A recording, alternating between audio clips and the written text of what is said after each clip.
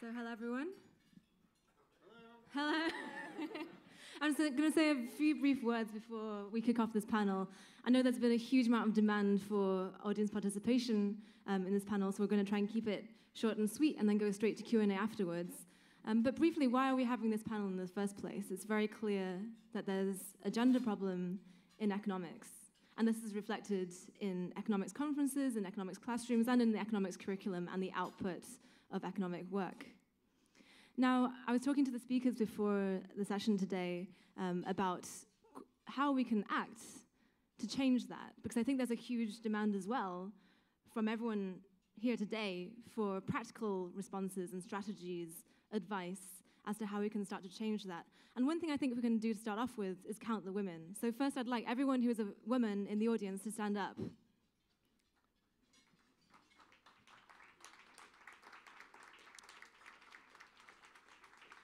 And I'd like you to look around the room and look at another woman who you haven't met yet, give them a wink, and uh, know that you're part of this uh, conspiracy uh, that, we're, that we're fomenting right now to increase that number. And I'd like everyone who is involved as well in the organizing of the conference to look around and think, how can we improve on this number for INET 2019? How can we build the foundations for there to be more growth in this community that we're nurturing today? So give yourselves a clap for being here, and thank you for thank you for being here, and thank you for standing up. And I hope that as we'll learn from this panel, it's good to stand up, and it's not a bad thing to stand out. So with no further ado, I'm going to hand over to Winnie, who's going to give us her, her presentation. Thanks. Thank you. Thank you, Yuan. And I'm really honored to be on this panel with uh, these eminent professors. Oxfam's research on economic inequality revealed early this year that eight men, men own as much wealth as the bottom half of humanity, 3.6 billion people. I'm sure you've heard that statistic. We've repeated it so many times. Behind that statistic is a story of an economic model that doesn't work for the majority, that is slowing down our efforts to lift people from poverty, and that's bringing instability. And it's an economic model that really puts women at the bottom of the heap. And who are these? These are women agricultural workers, domestic workers, migrant workers, casual workers in the supply chains of big business. These are not a minority. In Africa and in Asia, 75% of women work in the informal sector are doing informal work. So today I would like to focus on three areas which we need to address if we are to change this, to get to grips with the twin crises of economic inequality and gender inequality. The first one that I want us to reflect on is how we measure how we measure economic performance, how we measure social progress. I wonder if I can get my, my slide there. How do I do this? No, they have to do it for you. Okay. I'll begin with a story which many of you economists might know already of an old professor who had a maid who helped him to cook, to clean, and to run errands. And both of them were contributing to the real GDP. Then the maid got a good impression with the old professor. They fell in love, they married, and she continued to cook, to clean, and to run errands for him. But this time, she was not paid the real GDP declined. That is it. What does that say? Because, because her work was now not recognized, not counted, so the GDP declined. And what is that story? The story is about the limitations of GDP as an indicator of economic progress. What we count, we have decided not to count what is so important in life, this work that's done mostly by women but also by men, of caring, of raising, of nurturing the human race. So we need other measures of economic performance. We need to count this work that women do that is done also by men and boys, but that's done mostly by women, and that's uncounted. And that keeps women out of paid employment, actually. And that keeps girls out of schools, out of building their capabilities. When I was growing up, I told you I used to fetch water from the river. And I can remember that we used to fetch water between 6 and 8 o'clock in the morning, and also in the evening between 4 and 6 o'clock after school with our mothers. There was one man in our village who didn't have a wife, and nobody saw him at the river because he'd go there at 5 in the morning. He didn't want to be seen with a pot of water on his head because it was women's work to carry water. So I'll come to that. It's my second point. So we need to measure economic performance differently and include all this work that's so important and include the environment as well. Second is what is called the gender division of labor. These, these economists call it that, but I call it the way society has assigned roles to men and women. We have been, women and men occupy different spaces in the economy. And this is ascribed by our society. Men can do this, women can. Like I just said, the man in my village who didn't have a wife but feared to go to the well to be called a woman because he's fetching water. So the poorest women you'll find, and the best example is Africa. You'll find women, because it's an agrarian economy, you'll find the poorest women are in agriculture, the roles they play there, and the roles men play. And you will see that even when the modern economy comes, it shifts them into the lower paying jobs and puts men in the better paying jobs. If some technology comes in agriculture, it goes in the hands of men and the women do the drudgery. But all this is usually socialized by, it is building on how society has assigned roles. And it also assigns access to assets access to land, access to a house, access to, to cows. So it places women weakly in the economy. And then comes capitalism, takes advantage of that. I want to quote for you something that I found in a report by the Asian Development Bank, just to show you how deliberate this capitalist system takes advantage of this social construction of roles between men and women.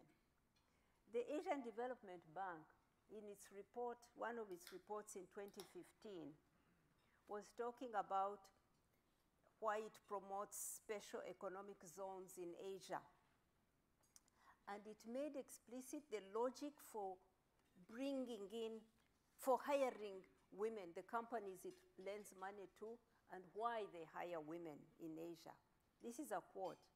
It is said that females possess nimble fingers and patience with routine tasks required by the labor intensive processes generally occurring in the zones, and that they are, they meaning women, are also less likely than males to strike or disrupt production in other ways. End of quote. This is the reason the Asian Development Bank is giving for the money it gives to companies to exploit women. So you see that the model of the economy is taking advantage of a gender division of labor instead of improving the gender division of labor and sharing roles, it takes advantage of this. So we need to cure that. In fact, there are a lot of these same multilateral banks multinational banks have done a lot of research. The World Bank, I draw on World Bank's research in this area.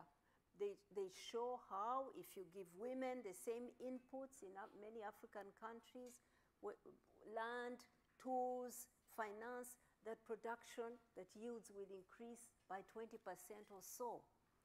So there's every reason why men and women could be empowered to play different, the same roles and, and gain more for the economy, but it's not followed. My last point is, um, so, so we need to tackle this issue of how society, as, how culture, religion ascribes roles and stop capitalism from taking advantage of, the, of it, but cure it. My third point and last point is about institutions. The public sector,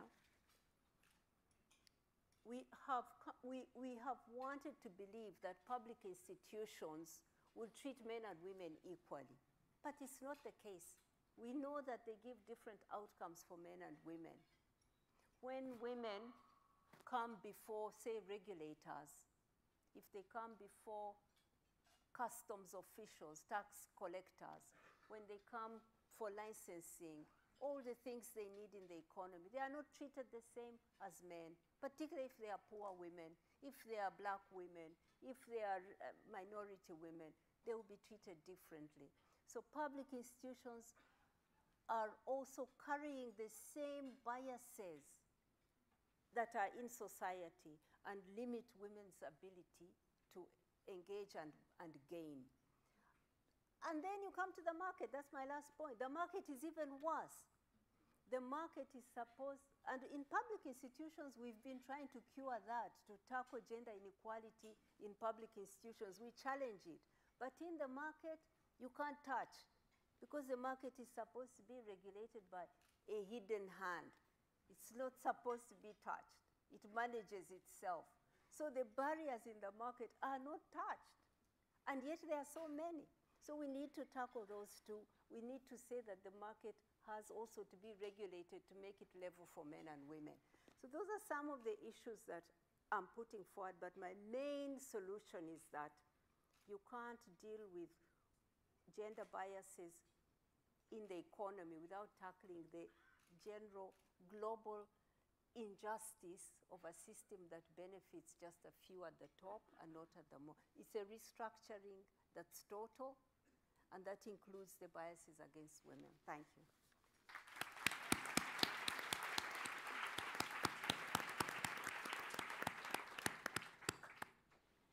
Yeah, I just wait for my presentation as well.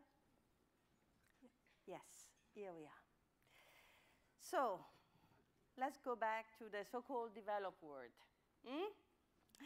Well, in this world, we definitely need to rethink growth in a different way. Not only in order to get rid of the crisis, but to be able actually to achieve a better world for all. So in that sense, as you can see from the title of my presentation, I will briefly sketch what I have in mind in proposing a pink new deal. What are actually the starting point? Well, in dealing with the crisis, uh, most of the Western countries uh, had just one target, uh, to reduce the budget deficit. This is definitely the case, at least in the European Union, but not, not only. And it's quite clear nowadays, we have been discussing this issue in several sessions during these days, that the budget deficit is the wrong policy target to begin with. What is the main deficit is the deficit in investment, in care, inequality. And therefore, the anti-crisis intervention in Europe, must be clear, is not gender neutral, but rather it is inspired by prejudice, by potentially worsening the role of women in the economy and the society, as well as introducing additional gender inequalities. I mentioned some concerning the gender structure of our societies in, in, my in, my previous presentation, and of course I don't go back to that because of lack of time, but I hope you were there when I was speaking. so, where do we stand?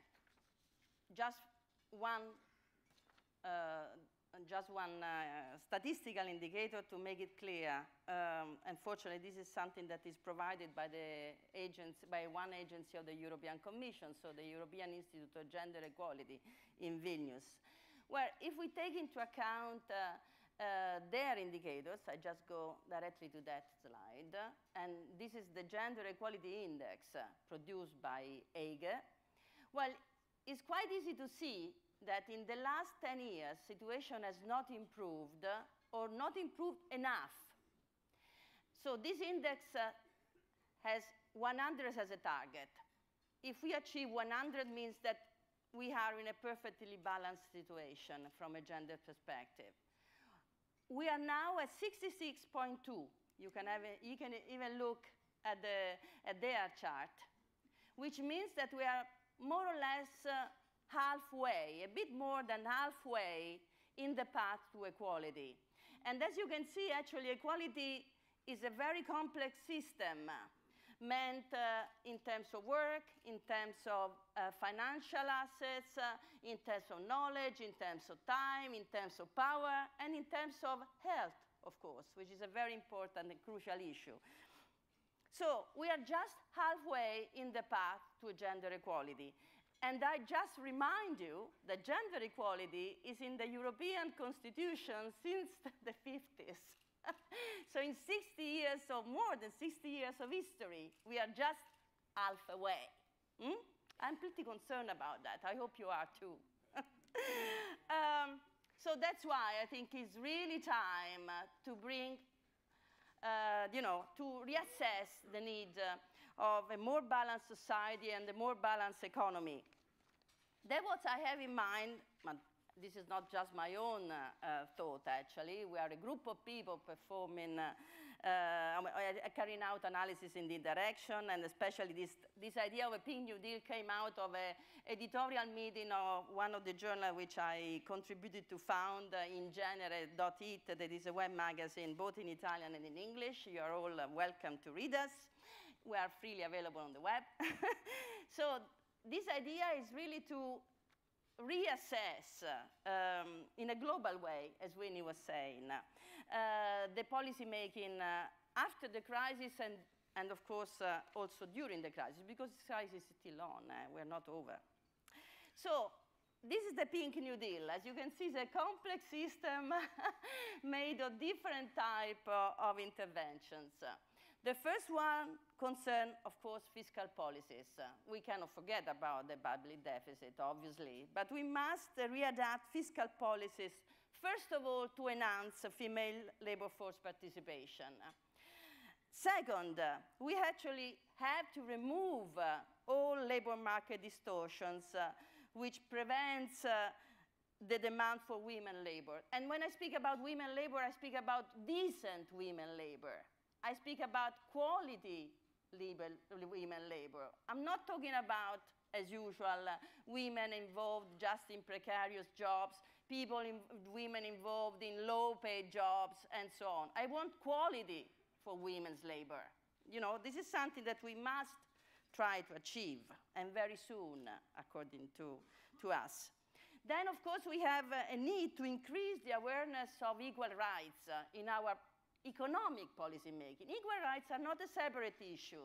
You know, equal rights are part of our economic paradigm, or should be at least. And in that sense, it's quite important to empower the national equality bodies. I say this from a European perspective, because uh, one of the main impacts of the fiscal consolidation has been to cut, apart from all the welfare system, of course, and this is something that has been said already, education, uh, health, and so on, cut the resources for the national equality bodies. I speak about my own countries. We used to have a gender equality committee. We don't have it anymore.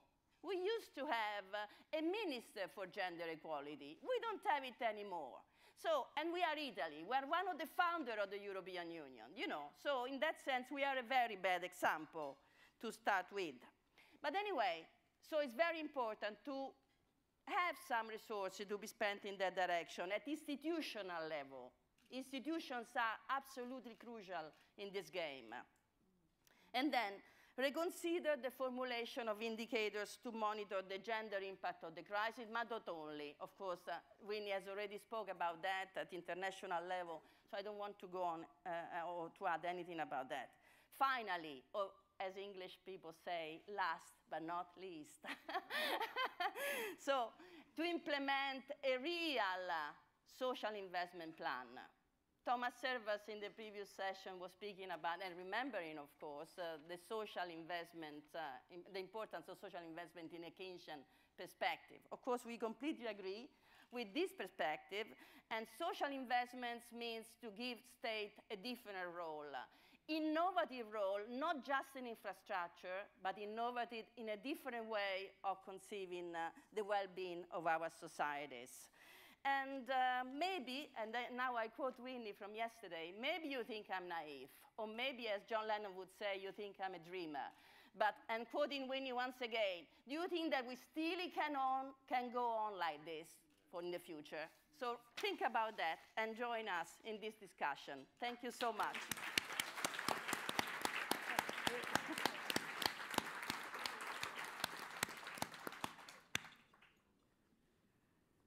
Oh, thank you. Um, I, that's good. Uh, I want to um, pick up on some of the points that have been made in order to focus thinking about gender in terms of macroeconomics and, and what a gender focus uh, implies for macroeconomics. Um, macroeconomics deals with aggregates. That's the whole economy. And yet there's increasing interest in decomposing those aggregates. And there's been a lot of discussion about the dual economy um, here at this conference. I mean, if we're talking about gender, we're talking about decomposing by gender. And this is spurred on by the fact that, from a policy point of view, there's clearly a gender element to horizontal income inequality. There's clearly a gender element to what's happening in the labour market. Um, and this is, is um, encouraging much more attention to gender um, within macroeconomics. And it, in, it allows for a, um, a policy proposal to be made at the political level that it would serve the goal of economic growth to promote more gender equality. If there's greater access to skills, this would feed into growth, uh, and so on. But I want to just take a moment to think about how this is framed if it's discussed within a standard mainstream kind of framework. This is a framework which focuses on the market and builds theory on the basis of atomistic individuals. And this, the, the microfoundations agenda is something that's dominated macro for several decades now. Um, oh, yeah. Um, sorry, I'm running ahead of my slides. um, now, there is some discussion about what happens within the household, economic uh, sharing of, of um, activities within the household. But this is discussed in terms of, uh, of contractual arrangements, calculative decision making to share activities.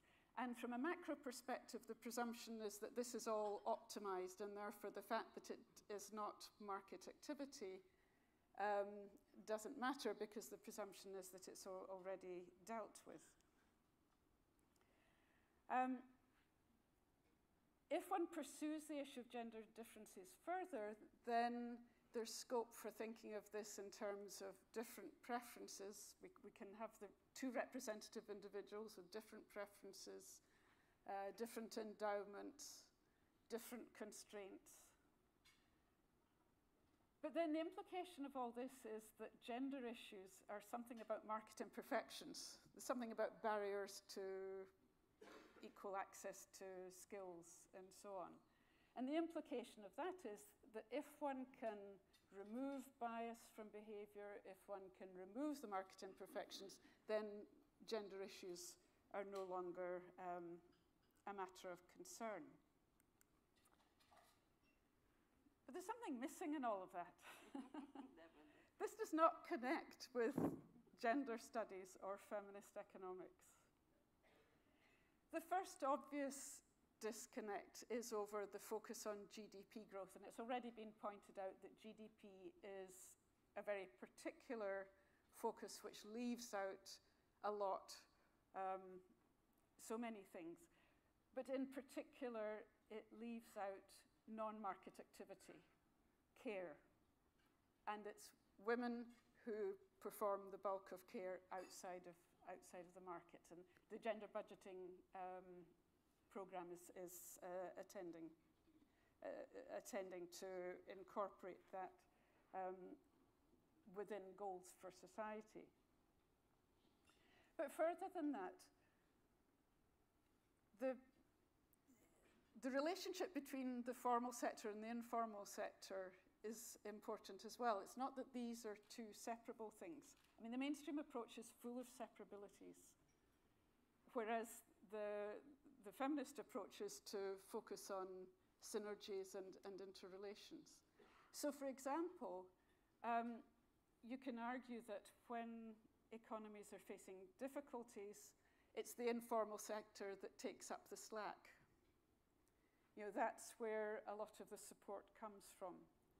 Now, why does that, is that support provided? I mean, that's that's a huge question that is not addressed just by specifying different preferences.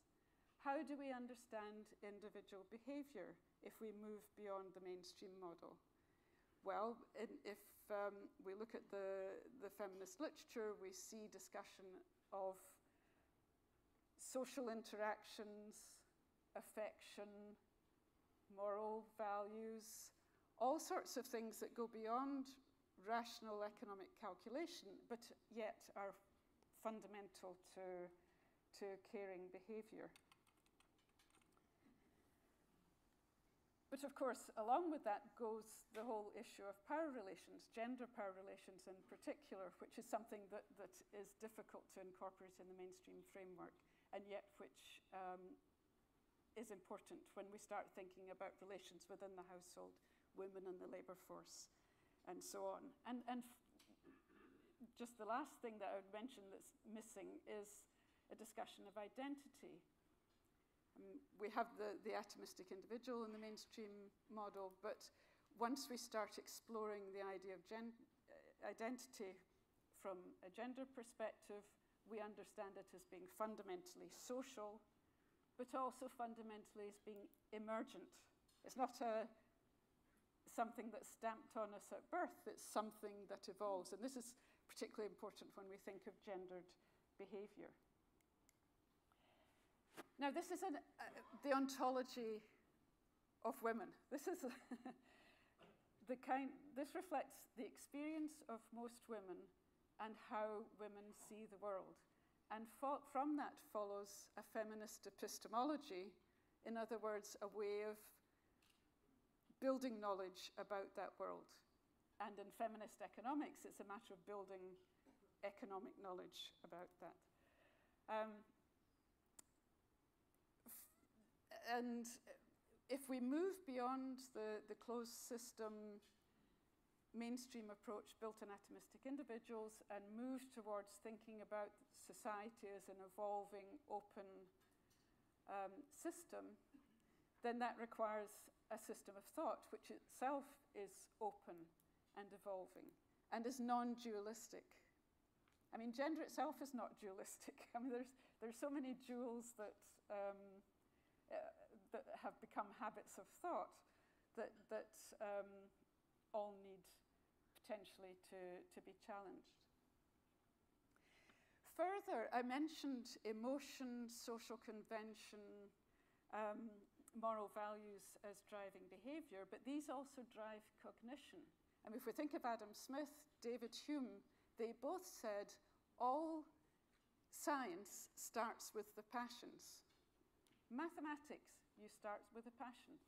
Why do we study mathematics? We have to go back to emotion. And so these are part and parcel of building knowledge, not something to be put aside in a dualistic um, opposition to, to rationality. And this epistemology supports a pluralistic approach to, to economics. It's built on the idea of situated knowledge, the idea that our knowledge of the world comes from our experience of the world, how we understand it, our ontology, and therefore how we, we formulate knowledge about it. And given um, the fact that situated knowledge inevitably is about, bound to be pluralistic, there are bound to be different situations. Even, I mean, within women, there are different situations. Within men, there are different situations, and so on. Once we start getting into situated knowledge, then we, we come to accept that there are going to be different approaches to understanding the economy, and all can contribute to building up a full picture of, of the complex world we live in and one of those forms of knowledge is, is um, feminist. But of course, that's not the form of knowledge that, uh, that dominates within our discipline, which influences the way in which women experience careers within economics. Thank you.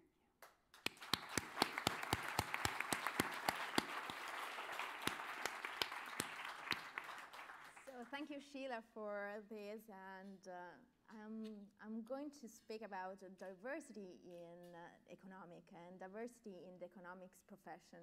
And why? Because yesterday uh, we saw also in the panel, uh, in the dinner panel, that uh, diversity is a problem, is a problem in within, I mean, the, the panelists in uh, these conferences. I mean, we are talking about gender and we are all women, but uh, in the other panels, I mean, we had just one or two women in uh, the other panels. But I just wanted to uh, point out uh, which is the degree of diversity in the economic profession and here uh, there are some gender differences. Um, here, I just wanted to start with a quote for Bayer and uh, Rouse that uh, in a recent article, they find out that the field of economics is behind other in its progress on diversity concern. But what I mean uh, talking about diversity in the economics professor, they, we have, I think, two dimensions here.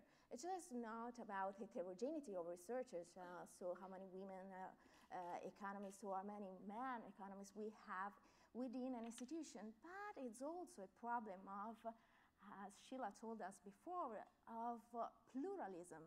So we should have a pluralism of research interest.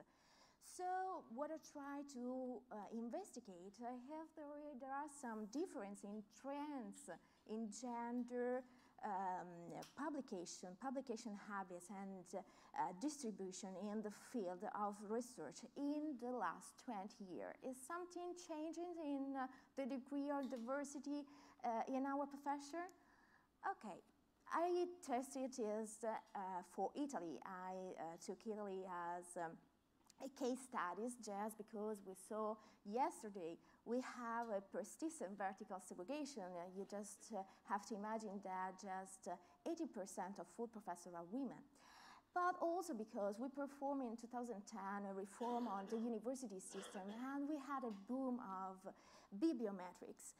And this means that we have standard uh, bibliometric indices to uh, be promoted, uh, to enter in the careers, and also to have more fund, public fund to the university. And uh, most of all, because in Italy, pluralism was a key element of the economic thought since the Second World War.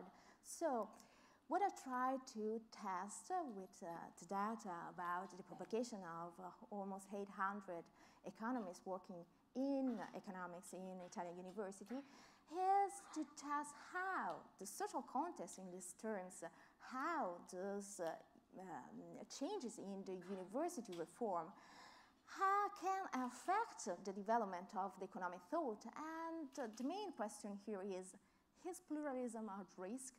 And moreover, uh, if women are more exposed to these phenomena, so do women are tend to homologate more, tend to converge more to an univocal model of uh, best excellence, econ economic way of doing and of researching? So which are the main uh, results that I found? I call that we found a trend of homologation. Why I prefer homologation instead of uh, convergence? Because uh, it embodies uh, a gender dimension, since homologation deny the possibility to have a specific feminine culture we find out that women began writing more on uh, fields, on research fields where they were previously underrepresented, and most of all about mathematics and quantitative uh, methods. More of all, they changed their research prefer preferences over the time more than their male colleague. And uh, we find also that institutions, uh, Winnie told us, counts because uh, this pressure to converge to um, in research to a model, a male model of researching is higher for a tenured professor than for PhD students. And most of all, we found out that there is a tendency among women to reduce more their contribution in what we call the less mainstream research fields. I'll show you just two graphs to give you an idea.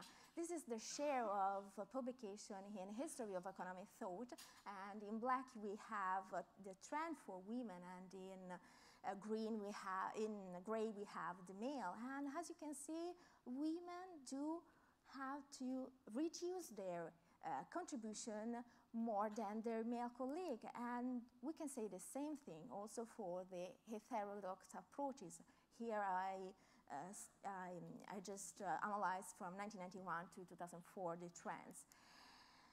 So I try also to measure how this gender effect uh, could be uh, changing in the, in the time. And I use a Duncan segregation index. So you can find everything and all the detail in the working paper that has been published in the INET website.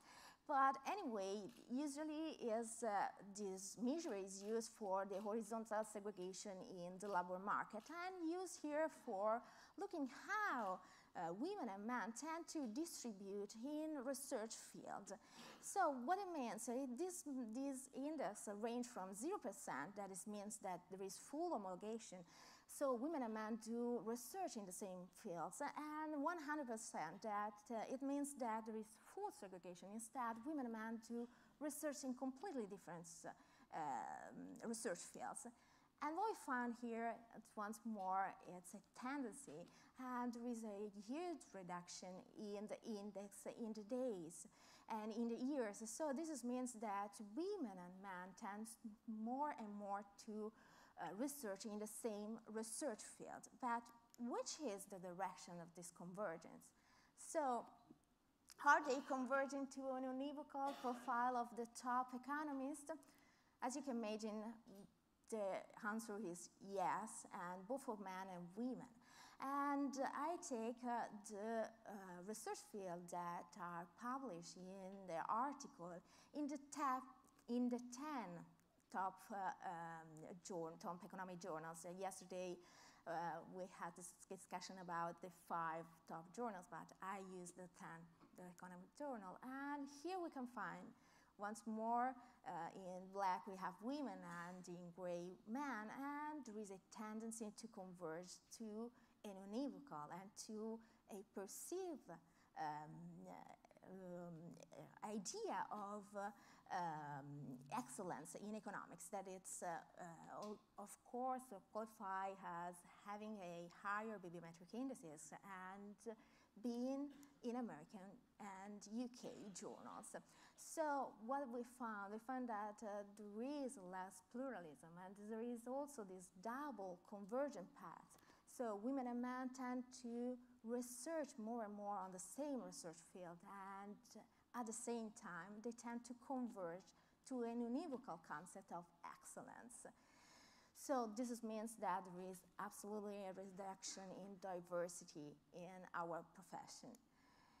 Just give me, I just want you to give you some uh, uh, conclusions and looking at the Italian case and these rules that uh, are mainly based on excellence and quality in terms of citation counts do reinforce the gender discrimination in academia, in economics, and also try to shape, I say Italian, but I think that is a problem in all the other countries, research activity, and they tend to favor the majority view, of course, the mainstream ones. So some policy suggestion would be that all these uh, changing in institutions and all these uh, research assessment and also these uh, methods to, to, introduce these mechanism to recruit new economists uh, should prevent,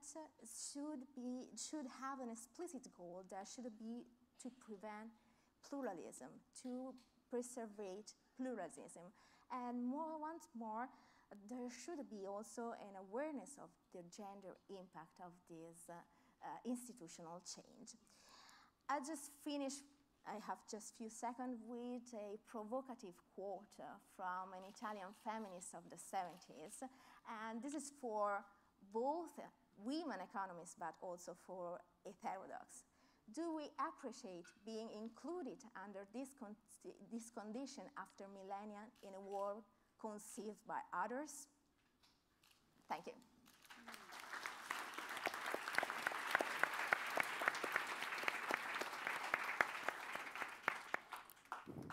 Thank, you to our speakers, Winnie, Marcella, Sheila, and Giulia. I'm just going to say a few words before we go to all of you, so please take some time to think of your comments and your questions um, that we'll gather after, um, after my brief points. So today we heard from Winnie and Marcella how the economy and the, the smooth functioning of the economy relies on the invisible labor of women and how that isn't counted. We've heard from Sheila as to why the reason that isn't counted is because of the methodology that's prominent in mainstream economics today that only takes into consideration a very narrow slice of the economy. And we've also heard from Giulia as to the link between ideas and the reality of the people who generate the ideas, that the narrow, that the narrow uh, amount of methodologies and schools of thought in economics is also linked to the narrowness and lack of diversity in the profession. So I think there's a link here between the ideas and the reality that generates the ideas. And of course, it's a, it's a symbiotic system. The ideas also affect reality. And so I'd like to go to, maybe stereotypically for a China-based economist, to a Karl Marx quote, which is, to, to call them to give up their illusions about their condition is to call on them to give up a condition that requires illusions. No wonder that economics, neoclassical economics, does not take account of the labor of women in the economy.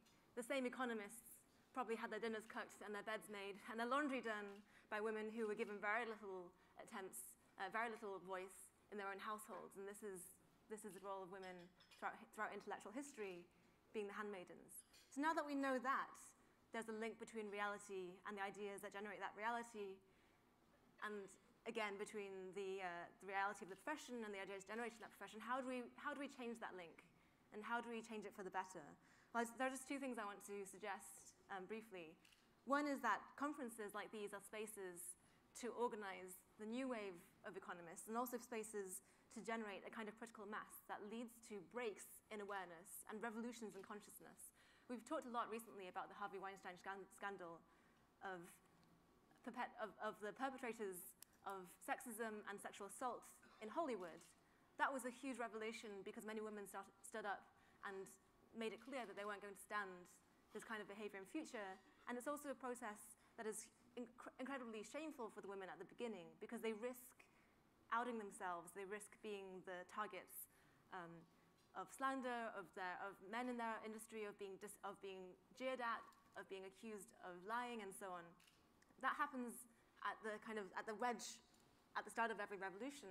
How can we create more opportunities for that kind of break in awareness and revolution in consciousness? I think that the answer is to lower the costs of beginning, if we're using economic terms. How do we do that? By organizing.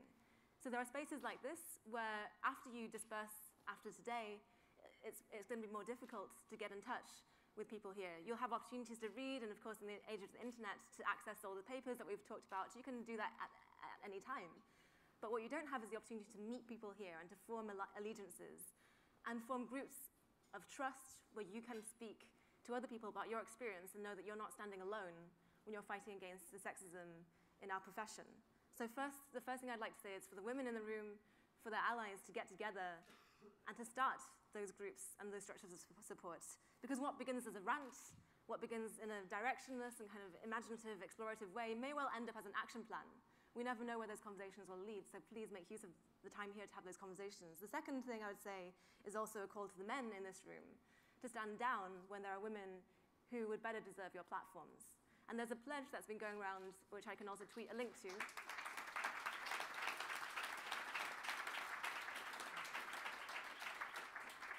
There's a pledge that's been, um, that's been widely tweeted recently about the No to Manels pledge, which a manel is an all-male panel.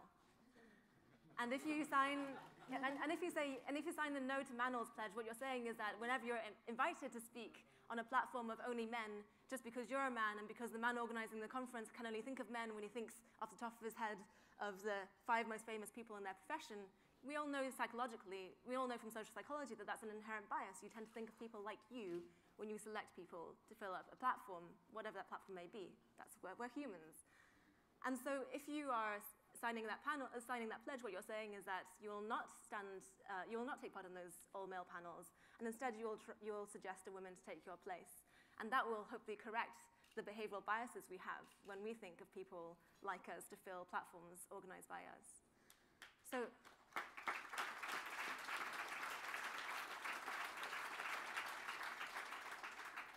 So without further ado, I'd like to get some comments and questions from the audience. I'll take them in groups of three, and then we'll have a few responses.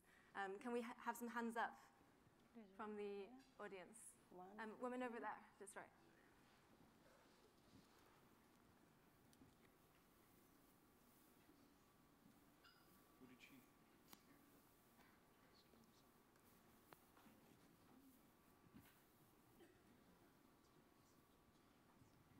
Thank you very much for this um, really excellent and interesting um, presentation and offering solutions to um, these problems that we all know exist in our profession um, and in the world that we live in.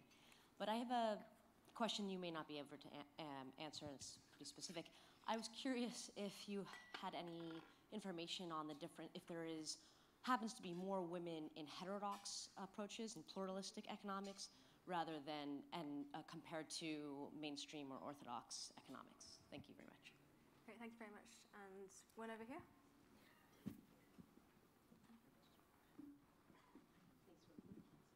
Um, hi, the um, statistics in the United States for full uh, for endowed chairs is only 4% of endowed chairs um, are women, and I'm one, and I feel I need to speak up and say me too. The mm-hmm. price of women entering our profession is quite high, which was just exhibited in the last three months explosively with a paper by April Wu from um, Berkeley, um, which showed, uh, which analyzed the comments on a job board, which described how women, young women candidates were being perceived by, um, by professors and by other students and how male candidates were being perceived. And they were just doing a word count. Men were associated with words like data, methods, policy implications, enthusiastic, careful. Women um, were associated with babe and other words I don't want to um, mm-hmm. repeat. So the micro and macro aggressions that happen all the time, for instance, when there's no woman on a, a panel, um, which is uh, probably in, indirect. Um, being, being interrupted, this is a very much of a standard in our profession. Have you ever been in fields when they say we're not going to use economics rules, we're going to use sociology rules? And what they mean by that is let the, let the panelists proceed with their talk before they're interrupted. So I think it, your, your work was very important about the kinds of topics and, and economic conceptions that we use, but I really do want to bring it back down to the way we treat each other. And the American Economic Association just Friday responded to a petition of a thousand of us to adopt their own job board to try to police um, their own behavior. So thanks for the panel.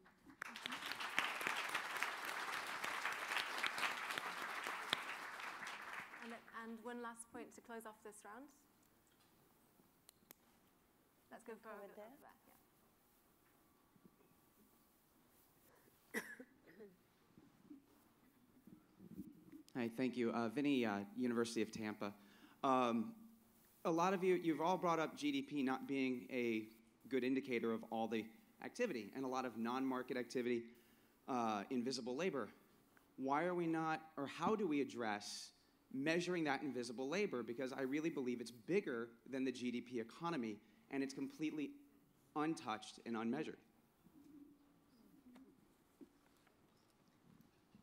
Great. So we had questions about women in hetero- heterodox economics, um, about A- the AEA petition and other ways of organizing, and the measurement of invisible labor. So does anyone want to kick off?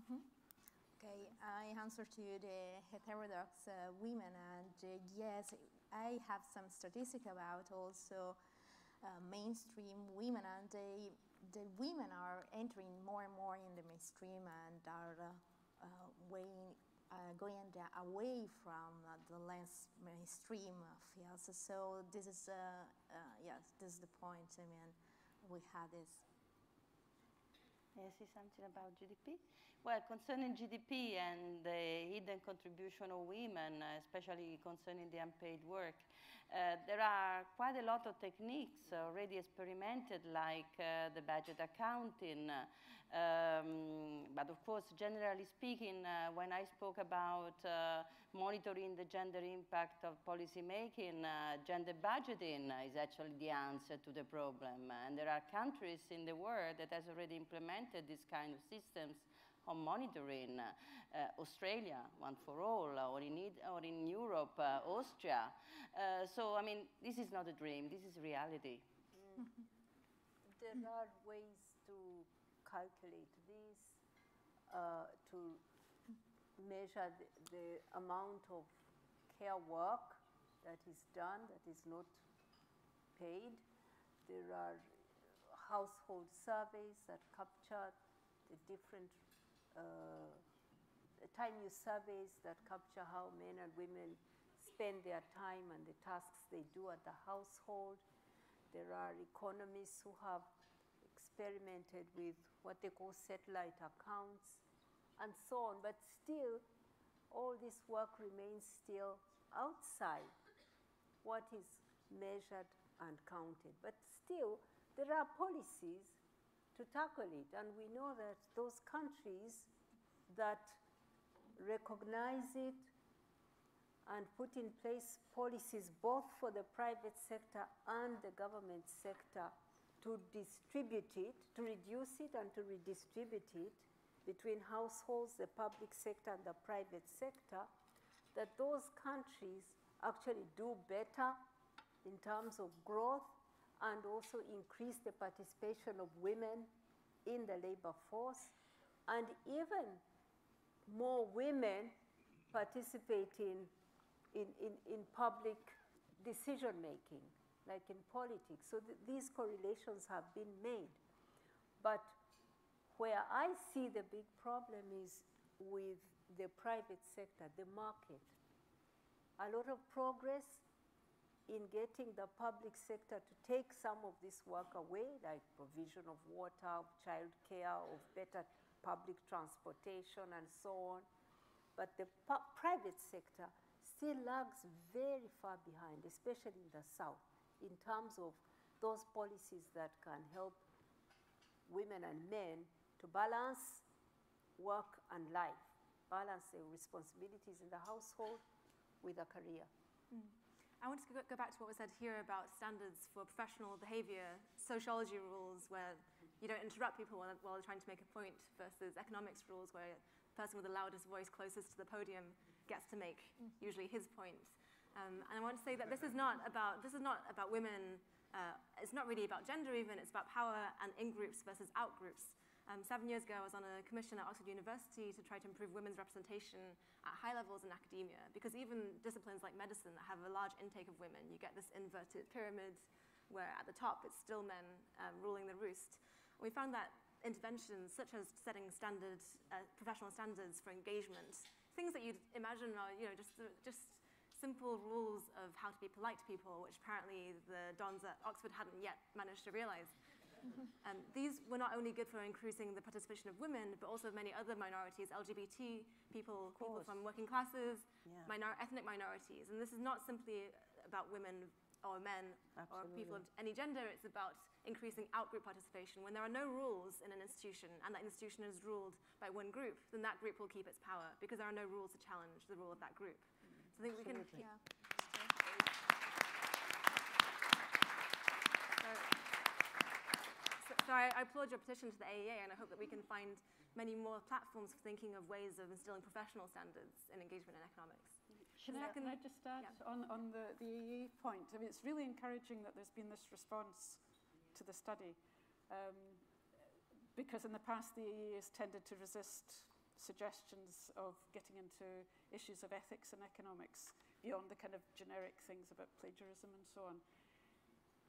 I see this as an opportunity. I mean, it's, it's a wonderful step to have taken, but there are many more steps that need to be taken. But maybe there's scope for pushing now because there are values embedded in economics, and yet there's a general refusal to admit this, and therefore they don't get discussed.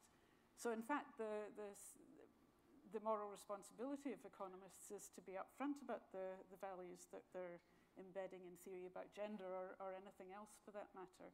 And so the onus is on us to explain what our, our values are, how they enter our theory, and, and be prepared to, to debate it. And if, if we can get the AA to move just a little in the direction of recognising that as an important responsibility on our part, that would be wonderful.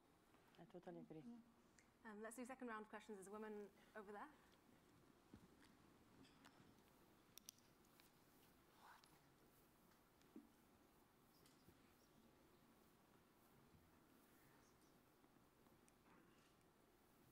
Thank Um, thanks for starting a great discussion. Um, uh, I, I apologize for my voice.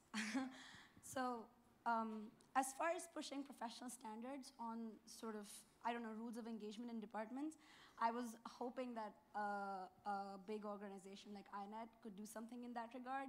Specifically, like, like there's a lot of professional organizations that we're a lot a part of.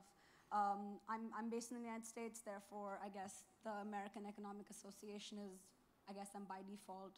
I am a member, but the point is that perhaps we can push these organizations to sort of create standards which every member organizations have to abide by.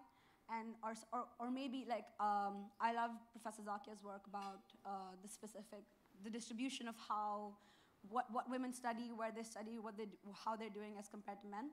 Um, perhaps we could have like lists of departments we can sort of like put the spotlight on who are not really, who are, who are particularly bad in this regard in terms of gender distribution. For instance, if I don't know if you've seen the news last week, uh, Oxford and Cambridge were put in the spotlight for not having enough, for not taking in enough uh, uh, black students, and therefore like some sort of spotlight on this. And if that's something we can do, I mean, it's not a question, it's a comment. I'm hoping this we can move in this regard, and we can sort of push these boundaries through these professional organizations, because as Yuan pointed out, that's possibly the best way to make sure that we can have better rules of engagement within our profession. Thank, thank you for your comment. Um, there's a point just behind, just behind you. Yeah, there are many this way. this way. Hi. Right at the back. So um, I was thinking a lot about the type of question I wanted to ask, and then it occurred to me that I have absolutely no question for the panel because the panel speaks the truth, and I've spoken the truth for the past I don't know how long all of you have been dealing with the research of NGOs, and uh, we speak the same language and we face the same difficulties. So it was like, yes, I know that, I know that, so what else? And then it occurred to me that in yesterday's panel, we were talking about how it's impossible if you're a heterodox, if you're a woman, if you're not in the top five um, institutions in the Ivy League, you're never going to make it. So it feels like we're always here talking about the struggle and always talking about how it's difficult and always talking about that there should be more women. And as Professor Corsi said, there's been 50 years that we're trying to go through, more than 50 years that we're trying to go through uh, gender balance and we're not doing anything. And I love the discussion. I love the thank God there is a discussion in here. But what are we actually doing? there are still few women on boards. Uh, I remember the headline for a month ago for where Uber was looking for a CEO, and the headline was Uber CEO uh, search uh, narrowed down to two men. Great. Where were the protests? Where were the articles? Where was all this community of women who feel completely marginalized and are alone? I think that these are questions that are far bigger than just a panel, are far bigger than just research because it doesn't deal only with gender, it deals with a lot of class structure, it deals with being uh, status as an immigrant, as a researcher, as a woman in finance, in marketing. It's not a sectoral thing. It's about power. And in this conference, we didn't talk about power a lot. But it was mentioned at least, and that's a start, I guess. What I wanted to say, and maybe to end in a high note, first of all, because again, I cannot thank you enough for speaking the gospel of rights, but I believe that the new economical paradigm will not come from the dominant paradigm. And by that I mean that maybe the new economical paradigm should come from people who actually speak from marginalized part. And I hope, and I work so hard as an heterodox, as a woman, as a researcher, and as an activist, as an organizer, to promote people who come from a different paradigm rather than the dominant paradigm.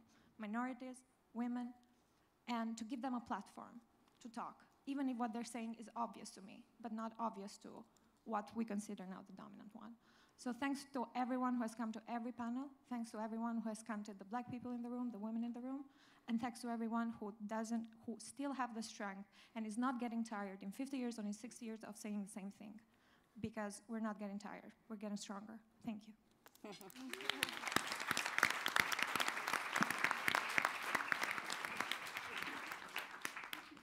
My question is about land and women, and I'd like to focus on one aspect of this relationship women and feeding the world. We know that small farmers produce most of the world's food on a fraction of the world's farmlands. We know that most small farmers are women, often with very insecure tenure. We know that the area that small farmers are producing off is shrinking fast and that the land is becoming more and more concentrated in the hands of the rich and the powerful, often corporations and multinationals. We know that these corporations and multinationals are directed by markets and profits, and they're busy supplying wars and conflicts. They're busy plundering, and I'll refer specifically to putting in commercial forestry and stripping out natural forests. They're sanitizing and poisoning land ecosystems and communities with chemicals and pesticides. All of this contributing to the current collapse of ecosystems and communities, the very environment and context that economies survive off. We know that we need to urgently kind of put and keep land and the production of food in the hand of small producers, especially women. And we know that we need to develop and promote an agrarian uh, vision central to the struggle for better food systems. We know all of this. Last night, I heard the answer to protecting ecosystems, land rights, and land access is through regulations. As a native of Africa, and Ireland and familiar with governments and their relationships with corporations and multinationals, my question to this forum and to this group is Are regulations enough? Right. So I think regulations the, enough? So I think the first couple of questions, perhaps we can summarize them into one question about what can INET do to challenge the power structures in economics. And then we have a question of is, is regulation enough or are there other forms um, of answers that we need to look for? Who wants to kick off? This question of land and natural resources is a, a highly political one. The economic model we are dealing with now is uh, very aggressive, it's violent, it's using force and taking away natural resources from those who live off them. The real political battles here Last year, I went to visit a woman's fam- a home in Honduras of a woman who had been killed, Berta Caceres, indigenous woman leading her community, pushing back against a company that had been illegally granted a license to build a dam over their water, taking away their water rights and even their land. And uh, she was leading her community. She was just killed in her home. This total impunity. People who are living off natural resources are on the front lines. They are being killed every day for defending their, their natural resources. And that's this model, this economic model. It's aggressive, it's militaristic. So we have to push back. Regulation is simply not enough because the rules of regulation have been made by a political and economic elite to, elite to favor themselves. In this particular case, example I've given you, we pushed hard as Oxfam and allies, and uh, everything now is showing that the minister who passed the license did it illegally. The bank, which the banks, five of them, five funders of the project, have pulled out, but one which is closely linked with the political elites has refused to pull out. You see the collusion between political and economic elites. So ultimately, it's really about taking away the power of the companies from controlling our politics, getting our politics to be back to the public policy process to be owned by people, by citizens, not by big business. So yes, we work on regulations, we push for better rules, but ultimately it's about ending the political capture.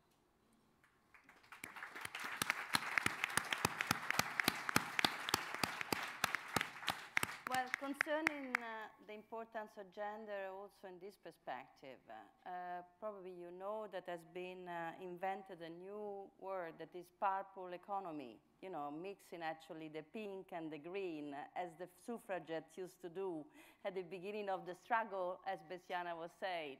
So uh, I believe that the role of women in preserving uh, the environment, in giving us a better chance for the future is crucial, as I said before.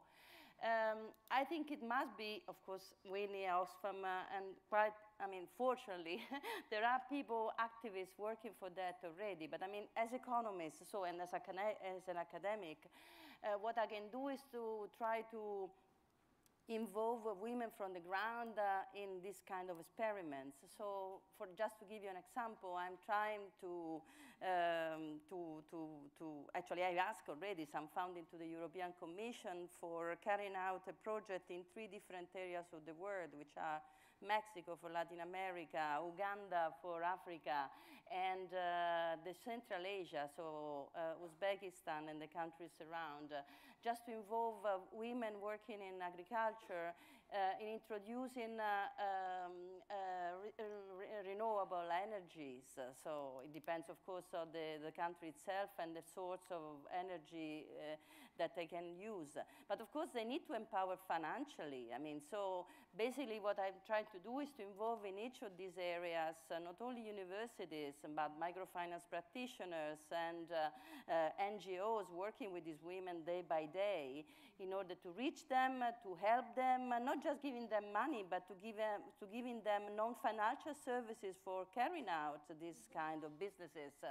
And if we start from the ground, if we ask these people to work with us, uh, you know, introducing just a solar panel instead of using, uh, you know, um, non-renewable energies and so on, I think we can do something good, even being academics. Of course, mm. I hope I will succeed. Thank you for the questions anyway. And, and there are some things that are positive coming out of this challenge of climate change, for example. The shift towards uh, clean energies mm -hmm. means that uh, there's more innovation in off-grid sources of energy. Exactly. And that's a real possibility for the 600 million Africans, for example, who are in darkness, who have no power, yeah. and who are working with their hands instead of using tools for production. Exactly. Yeah. So there are real opportunities. The challenge, the move towards a low carbon economy is and can be an economy that lifts many boats. Mm. Exactly. So we don't have.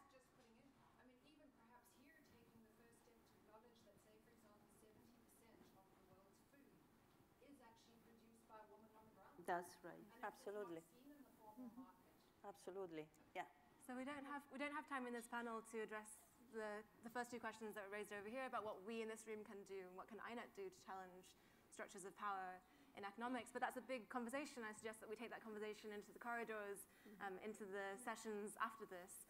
And if you have ideas, action plans, kind of starting points for that question, to tweet them using the INET 2017 hashtag or to email them and discuss them in the group. But just to close off this discussion, I know that econometricians like to check their data. And, and, I was tra- and I was also trained to do this. And so at the start, we counted the women in the room. Now, I'd quite like to, the men in the room also to be counted. To, so please can the men in the room raise your hands? Please can all the men in the room raise their hands? And I would like you to keep your hands up if you're willing to take the no to Manels pledge. Hey.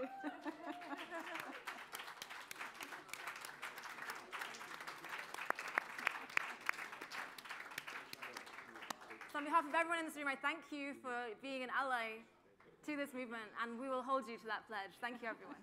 Thank you.